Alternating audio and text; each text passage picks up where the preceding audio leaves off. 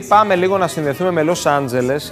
ήταν να πραγματοποιήσουμε αυτή τη σύνδεση στην αρχή περίπου της εκπομπής. Ωστόσο, πραγματοποιήθηκαν άλλες συνδέσεις. Πήγαμε λίγο πίσω και να ευχαριστήσω για την υπομονή της την κυρία Χρήσα Λούκας, η οποία είναι μια Ελληνίδα που διαπρέπει εκεί στο Los Angeles. Την καλησπέρα μας από Ηράκλειο. Καλησπέρα, σας ευχαριστώ πάρα πολύ για την πρόσκληση. Είναι χαρά μου να είμαι μαζί σας σήμερα.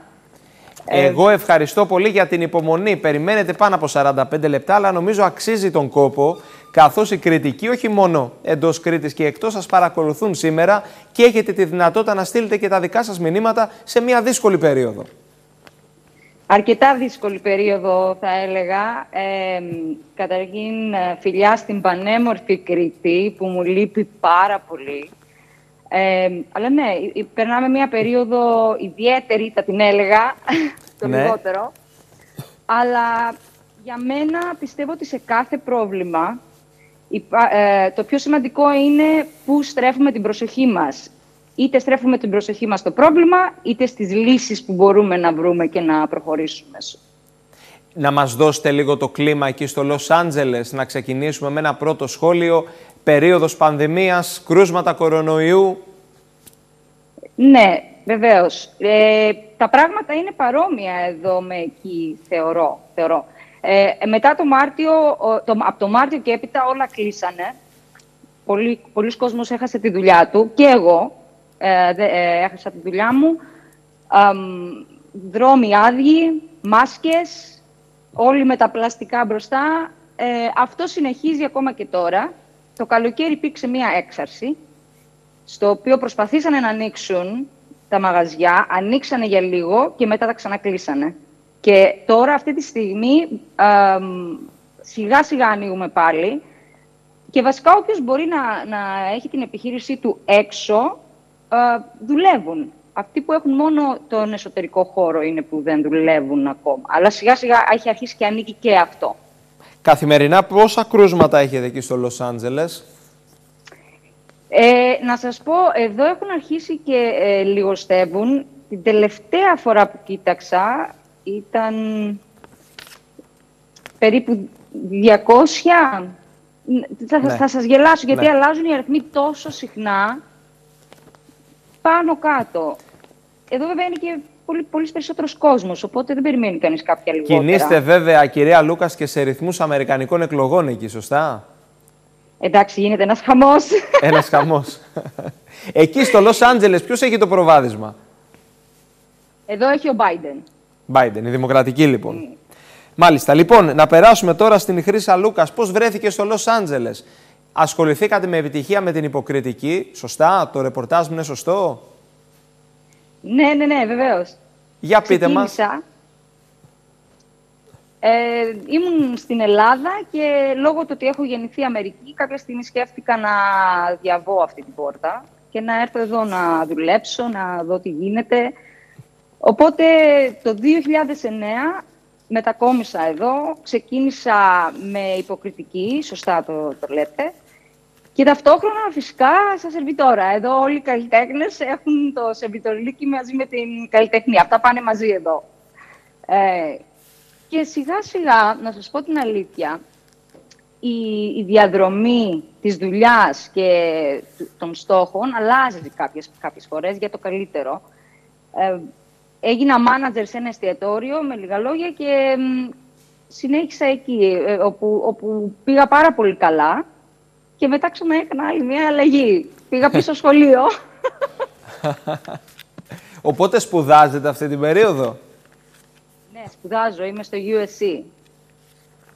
Και σπουδάζω δημοσιογραφία ναι. και ταυτόχρονα ετοιμάζομαι για μεταπτυχιακό στις ε, διεθνής, διπλωματία. Δεν είμαι σίγουρη πώς είναι το, η μετάφραση στα ελληνικά. Ναι, μάλιστα. Η υποκριτική έχει μείνει στην άκρη;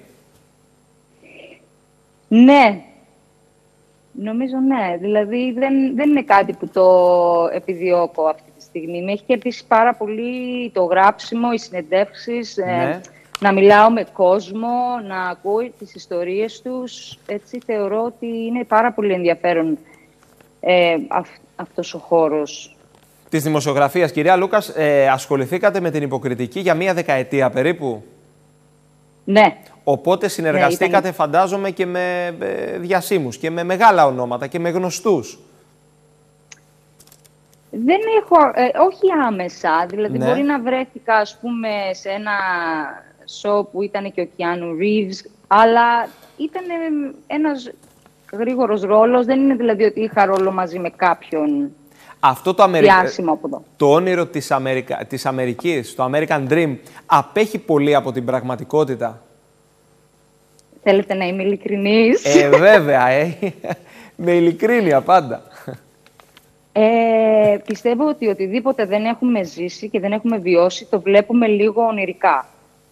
Ναι. Το αμερικάνικο όνειρο ε, είναι λίγο διαφορετικό να το σκεφτεί κάποιος όταν είναι μακριά. Δηλαδή διαφορετικά το σκεφτόμουν εγώ όταν- πριν έρθω εδώ και διαφορετικά το έχω βιώσει. Και τι σημαίνει αυτό; Ναι, βεβαίως είμαι στην Αμερική που έχει πάρα πολλές ευκαιρίες, φυσικά γιατί είναι πολύ μεγάλη χώρα.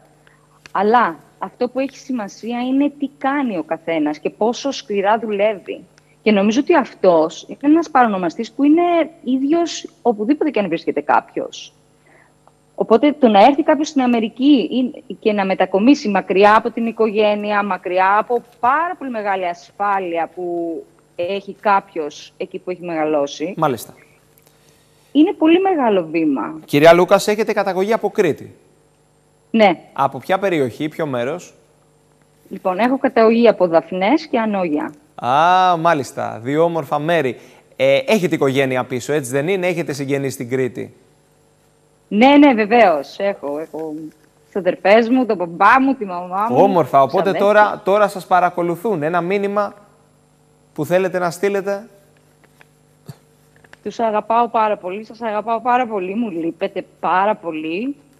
Ε, η μεγαλύτερη δυσκολία για μένα είναι ότι δεν μπορώ να έρθω ή δεν είναι ότι δεν μπορώ σε σχέση με διαβατήρια και τέτοια, μπορώ.